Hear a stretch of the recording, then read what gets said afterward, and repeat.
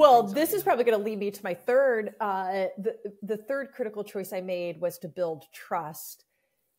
A, a, a little comment that you made me think of there is when we think about inspiring the trust of others, you know, we are more likely to trust someone who is like us than someone whom we like. You know, there there is that connection of someone who is like us versus, oh, you know what, he's funny or he's likable or no, this yeah. person is like me. Um, so when I made this choice to build trust, it really started with I had to build trust in myself because there was none right? Like it just didn't exist.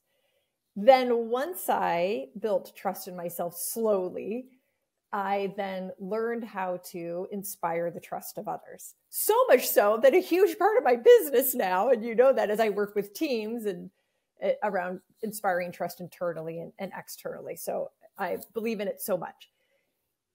For you, I want to ask you probably two parts to building trust. I'd like to start with uh, a time in which you've had to build trust in yourself. And how did you do it? Hmm. Like, if you can dig deep and think about how you built trust in yourself or how you continue to. And then I'll get to inspiring the trust of others. Okay. Okay. So yeah. I, I, have a good example there. So, uh, look, last year, last year was a tough year for me. And uh, just getting anything going. And part of that, I, I know part of that is just this, the, you know, getting dragged back to court all the time. It's just, it's just, we can't, you know, you gotta, when in a divorce, you know, that was nine years ago. And at some point you, it's hard to heal when somebody's still wanting to fight about stuff. And so uh, that, that really was a lot of, that was a tough year for me last year and I realized I realized I was was lacking a lot of confidence. You know, I was just getting stuck and having a hard time moving forward. And so I I decided I wanted to build some evidence for myself that I can keep my promises to myself. So I decided, you know what, I'm gonna I'm gonna run the New York Marathon, and I'm gonna hire a coach. And what she did for me, and and the funny thing was, I had to commit to talking to this coach because she's her name's Heather Peck Knight, and she's won the Boston Marathon. She's won her division in the Boston Marathon three times, and she set the world record for the half marathon last year uh, in her in her division. I mean, she's amazing, and she works with all these people who qualify for the Olympics and things like that. And I thought, you know, I have no business working with this woman, but I knew her.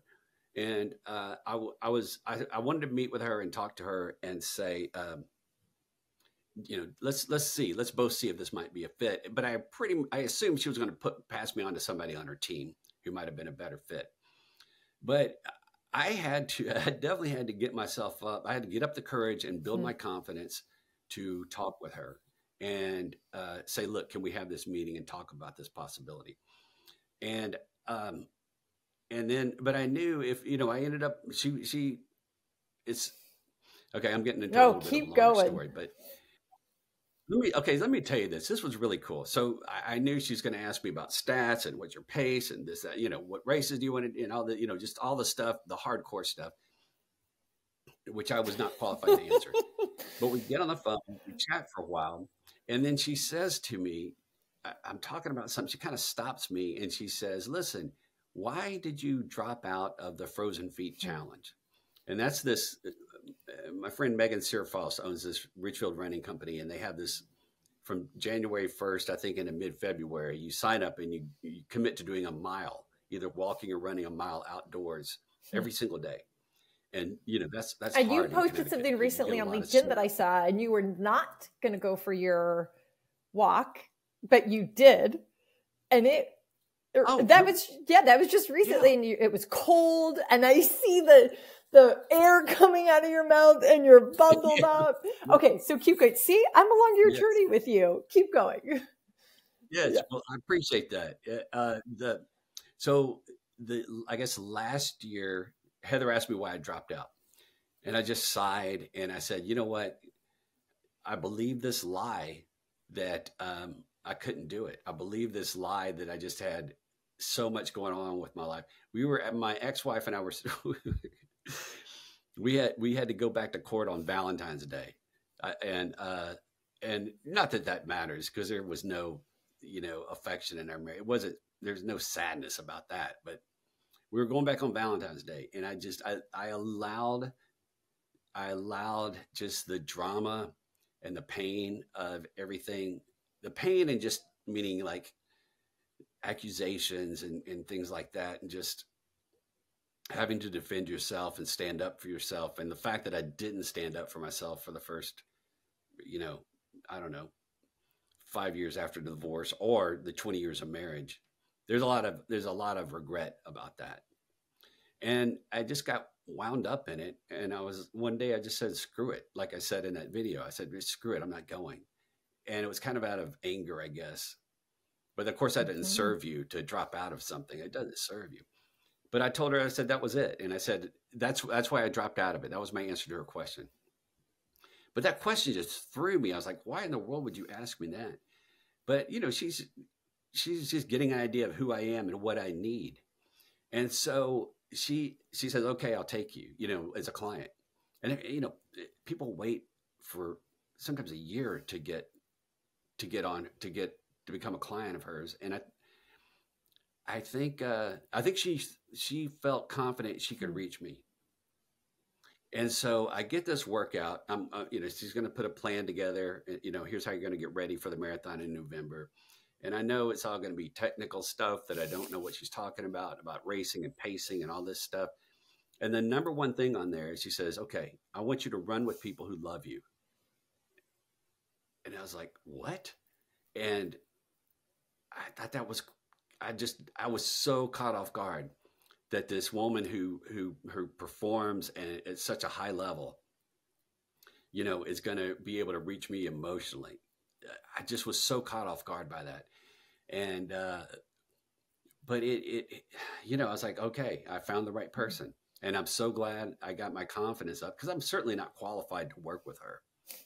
You know, if you think about the people who the goals mm-hmm. and what they're trying to do, but again, that's that's shifting what we talked about in the first choice. You know, it's this idea of like, let me look at the the the you know, I hate this term KPIs. Yeah, you know, the right. key performance indicator. Let me look at those differently. Maybe it's not about getting a laugh every time. Mm. Maybe maybe it's about connecting with somebody. And maybe I just want to get out here and maybe there's I'm at a conference with 3,000 people.